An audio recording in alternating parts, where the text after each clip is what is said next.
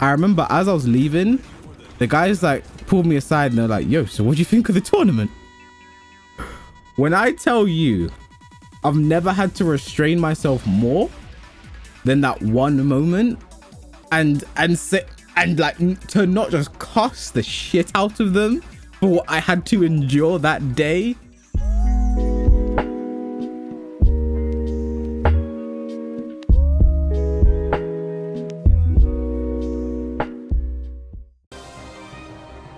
I haven't told this story in a long time. I haven't told this story in a long time, and I don't, I don't, I actually don't think people will. There's been a lot of new people around. It's been probably over a year since I told this story, but this is, I'm gonna tell the story of literally the worst tournament of my life. And for those of you who've been around for a while, you're gonna know this story. You're gonna know this story, but for the for the for the new ones, for the new kids, new the new kids on the block, you guys you guys are gonna find this one quite interesting. So this was over maybe two years ago now, I think. This might have been. It was, yeah, it's close to two years now ago. It was 2018. I was still, I was still in uni. So I was, I was in Coventry and the tournament was in Birmingham. There wasn't, so there was this tournament advertiser. Someone put it in, in a group chat that I was in uh, for just Midlands Tekken players because I was in the Midlands at the time because I was in uni. And it was for this tournament happening in Birmingham and it was 150 150 I was to say 50,000 150 pounds goes to the winner like winner takes all right? And these guys are called like KO gaming or some shit like that right? Never heard of the guys organizing it but I was like you know what? It's a tournament in Birmingham. It could be relatively free you know I'm from London London's the best Tekken scene like I should I should have no problem whatever like there's a few good players in Birmingham like Dante um blah blah blah, blah. I was like, you know, I should I should do all right at this tournament, you know, big man. Um so it was advertised like start like start at 12 or something. So I like get there around half 11 and I meet I meet the guys and when I got there, yeah. Now this is gonna make sense if you're black, but there's just like a certain type of black man that you just see and you just know i this person is just unserious about life. Like they are they are not someone you should be trusting to host your events. They are not, like you could just see. I could see as i walked in um and there was like three or four of them and i was like oh boy this is gonna be a thing. Um so i get there for some reason they like dap me up like yo what's up you know so glad you can make it. Is like we don't not starting to let. Was like, calm. I got time to get something to eat. I'm like, yeah, cool. I said like, they yeah, cool. So I go get something to eat, and I come back. People are starting to file in, and for some reason they were like, so there were like there was like one big setup inside, right? So on a on a on a projector, a big setup inside, a few like setups up on the stairs and shit, and a few like outside. It was like a bar. So one thing I forgot to mention is that one big setup on the projector was the only tournament setup. And the more I get into the story, you're going to understand why that was a huge piss take. Um, I'm like, cool, whatever. Let me get warming up. Uh, this was actually the tournament I actually met Eddie. Um, you know, he was he was like an, just an online legend before before this point. Never met him before in my life. Didn't even know he came offline. I'm gonna restart my games. I'm not getting games and yeah so like those those just random that was just being everyone in casual. Was like who is this? It was eddie. Um then at like 1 p.m they were supposed to start mortal kombat xl because there were three tournaments running the day. Mortal kombat xl dragon ball FighterZ and tekken. And they were like at like one they were supposed to start mortal kombat xl and we're sitting around like because we're just sitting for a bit like from what i saw they had the game up. Um and like people were just like messing around like yo you know why haven't they started? Like what's going on? So at one point one of the guys who's organized the event like walked past me. And i was like yo like why haven't they started the game yet? He turns to me and he says oh you see we have we actually don't have the game. We actually got mortal kombat x instead of mortal kombat xl and obviously you know certain characters are different you know buffs and nerfs and it's not the most recent version of the game you get me? And I was like, wait a second, you're doing a tournament and you haven't got the proper game. You haven't you haven't got the game. The game that you need to participate and do the tournament, you haven't you haven't got that on you. No, you you don't have that. And he's like, yeah, you know, just you, whatever. Like, it'll be like 20 minutes, 20 minutes, 20 minutes. An hour goes by, and then someone finally walks in. Like, oh, we, we got it. Got more XL. It's like, calm. They can start the game. They can do they can do their thing, right? Plop plop the disc in, and then we're seeing update file. Two hours. And I'm sitting here like, wait a second. okay. Let's hold the phone real quick. Update two hours because obviously they just got the game so they need every single update to be done to be up to date and I was like so me, being me yeah i'm a I, I had the genius idea right there weren't that many people for Mortal Kombat XL there was a bit more for Dragon Ball FighterZ, but there were the most people around for Tekken 7 so I was like okay why don't you just start Tekken now or start Dragon Ball FighterZ now while that update's going by the time the tournaments are finished bish bash what Bob's your uncle and they were like no, we don't actually want to do that because we have the most signups for Tekken. So we want everyone. Oh, it's the fraud. Uh, he's like, we want everyone to stay until the end. You get me? And I was like, wait, but like, that's just not fair on us. Like, how is that fair on us? I have a, what I forgot to mention, I had a coach to catch at like half nine. The tournament was scheduled to finish at nine. And I was like, how is this fair on us? So they finished the update file. We had to sit there and wait. Then they played Mortal Kombat XL. That was done.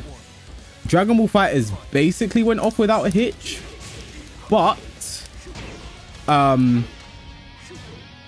because Dragon Ball FighterZ is just a long game in general, it took a while. Um, and then by the time they're supposed to start Tekken, it's like half eight. Bearing in mind, my coach is in an hour. They have the venue, they only had the venue until 9. So there's basically it's half an hour to do a tournament is is the undertaking that that basically they have they have forced upon themselves, right?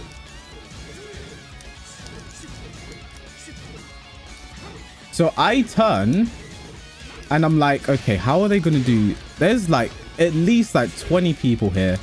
There's no way you can do a full tournament much less some form of mock tournament in like half an hour.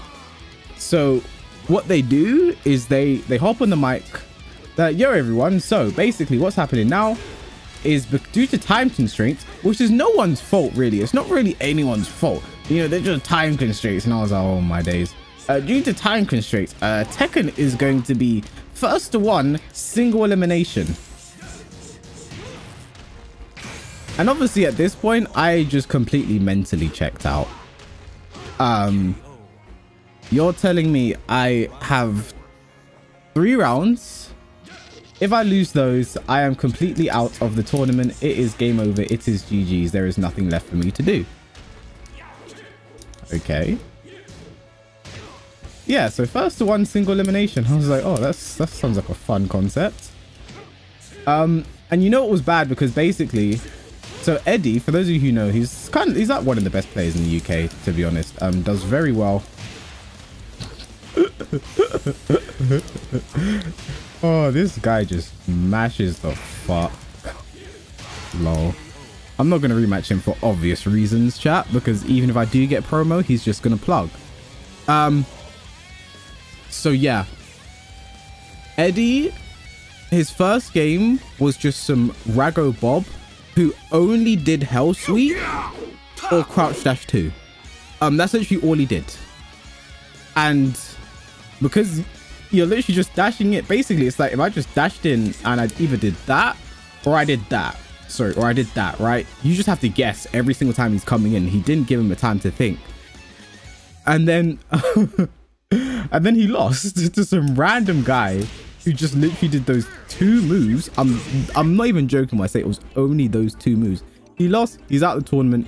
GG goes home later than he was expecting to. Blah blah blah.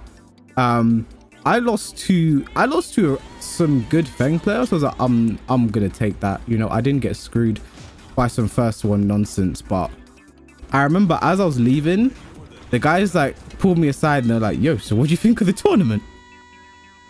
When I tell you I've never had to restrain myself more than that one moment and and sit and like to not just cuss the shit out of them what I had to endure that day. Because I forgot to mention as well, it was very cold this day, and the only selves to practice were outside for some reason, even though there were selves, there were selves inside, upstairs, for Tekken 5 for some reason. If you want to play Tekken 5 inside, sure. But outside, where it was cold, that was the only place uh, if you wanted to actually like, this is, oh wait, I played this guy before. The connection is not good. Um, the same fucking place, right? So I had to, I held, I held everything back in my system to just not cast the shit out of them. I was like, yeah, it wasn't too bad, you know, you know just uh, did I the right time, you know, just a bit upset with the way things went. Yeah, they were like, yeah, sorry about that. Yeah, sorry. So just sorry how that we like. It was no one's fault really. Just you know, just just how these things these things go, you know. He was like, but don't worry, you know, we're planning we're planning another tournament next month, yeah and you know we're gonna give we're gonna give you half price entry to the next one. You half price. I was like oh yeah safe safe safe. Never heard from those guys again. I was like yeah safe safe. Cool cool cool. They they tried messaging me on facebook. They, they tried to do whatever. I just i never went back. I don't know if these guys are still doing events. I hope to god they're not. But it was just like it was a shambles. It was beyond the shambles. How's it going bruce Tekken 5 is a top tier game. If I'm trying to warm up for Tekken 7, I want to be actually warm while I do it. And not have to worry about being outside.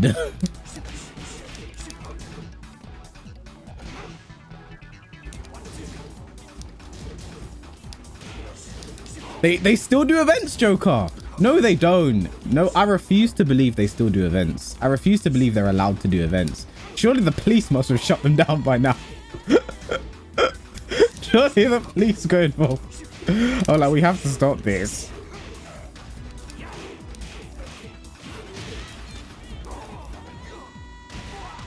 There's no way.